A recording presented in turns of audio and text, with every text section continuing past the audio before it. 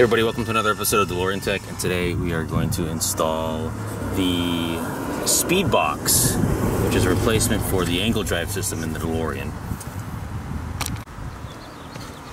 So the whole purpose of replacing this unit is to bypass the failure-prone angle drive with an electronic unit that uses GPS-derived speed to drive the DeLorean speedometer. This was purchased at Speedhut, www.speedhut.com, and takes about an hour to hour and a half to install. Prep work. So we disconnected the battery. Uh, we've got the Speedo cables uh, unhooked from the Lambda counter. Um, we've got the binnacle off completely.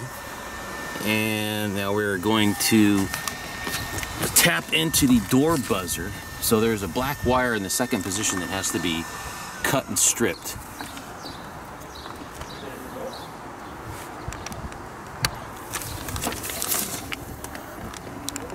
There it is right there. Okay, cool. So go ahead and strip that. So in addition to the black wire, we are going to do an optional cut and strip the purple wire coming from the buzzer connector. The reason why we're going to do that is that will provide the speed box constant power uh, in order to enable it to have faster acquisition of satellites for the GPS. It draws very, very little power while doing this. So again, it's optional. We just want a, a quick response, a, a better performing system. So here are the two wires that we have stripped and ready to go. These are coming from the buzzer harness. So we've got the black wire and we've got the purple constant 12 volt source wire. So here's the harness that comes with the Speedbox GPS unit. And what we're going to be doing is we're going to be attaching a butt connector to the black wire and we're going to be attaching a butt connector to the red and black wire.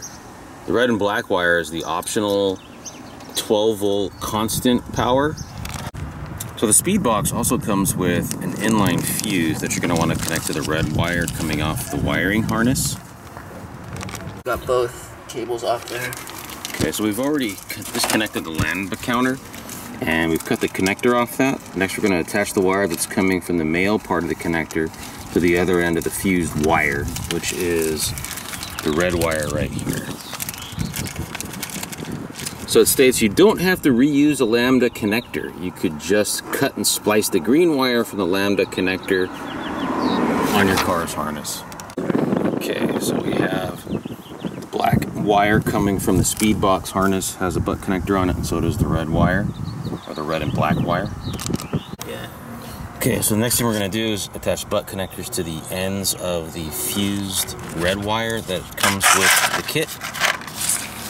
So they provide a photo of what that looks like. The instructions say that you only need to partially remove the binnacle, but we went ahead and removed the whole thing just to be able to see into this a lot better and also for the filming. So this is the lambda counter right here. And this is the white connector that you're going to need to tap into. So there's different ways of doing this. You so the lambda harness to the car is right here. Uh, let's go get So this is the lambda harness going to the car. Instead of cutting this off and connecting it to the red wire to the unit, you can actually cut this green wire off and splice that directly to the unit via the fused power cable. So what we're gonna do is we're gonna cut into the white lambda harness connector and we're gonna splice this to the red power wire going to the new unit. So we just spliced the fused power wire to the lambda harness here, the male connector. Okay, so the next step is to connect the Speedbox wiring harness to the Speedbox. You just plug it in like this. Good to go. Okay, so these are the instructions that come with the Speedbox. This kind of shows you the general connections that you make to the unit itself. These instructions that we're using right here were obtained from the DMC Talk DeLorean forum online. We'll drop a link in the description uh, so you can go ahead and access this as well.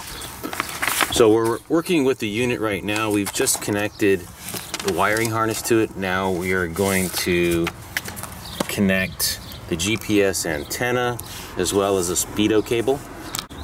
So we're connecting the speedometer cable right now. Pretty easy.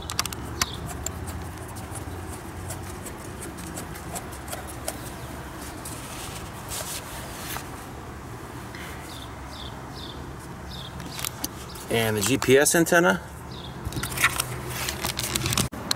So here's the GPS antenna that it comes with. So we're gonna go ahead and just connect that to threading right here.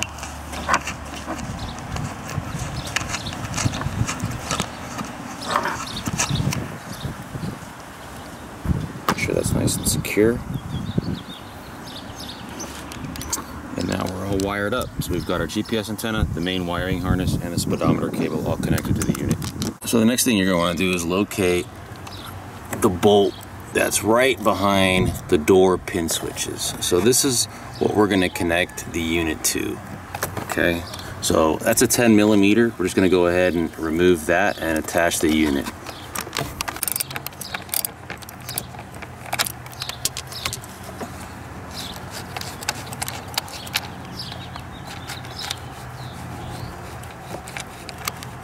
We're removing the, the nut and there's also a couple washers there as well.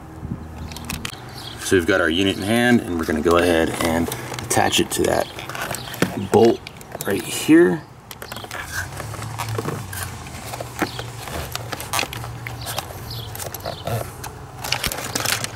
Just gotta make sure there's no wires in the way.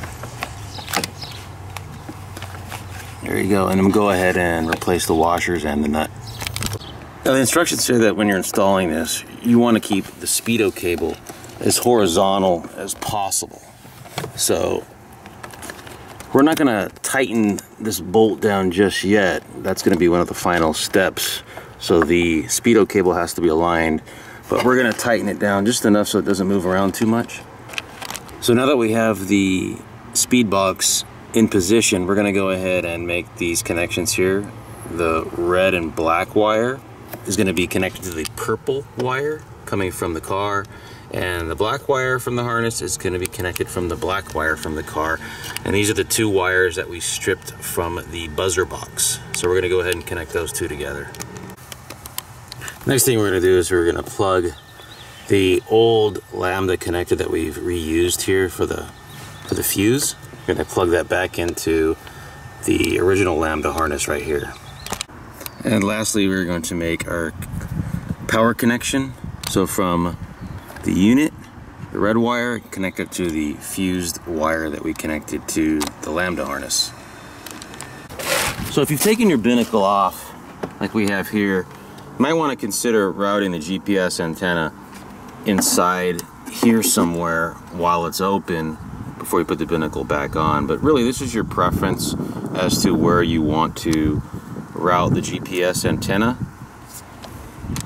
So when you connect the new speedo cable to the back of the binnacle, it's, pretty easy to do.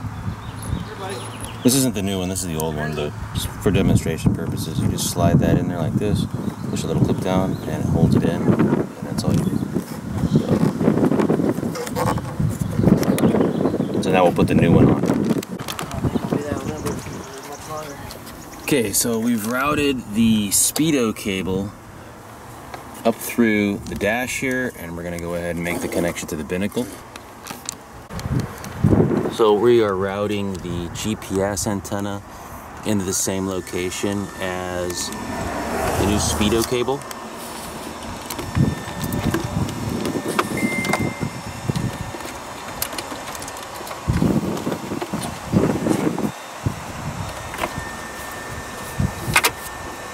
And you're going to want to install it on something that it isn't going to rub against. So we thought a good place to place the GPS antenna would be somewhere inside the binnacle. So that's what we're going to go ahead and do.